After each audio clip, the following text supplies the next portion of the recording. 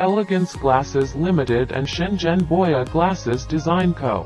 Limited, as the subsidiary of our mother company established in 2015 and extensively experienced in eyeglasses business, focusing on online wholesale and retail of eyeglasses trading.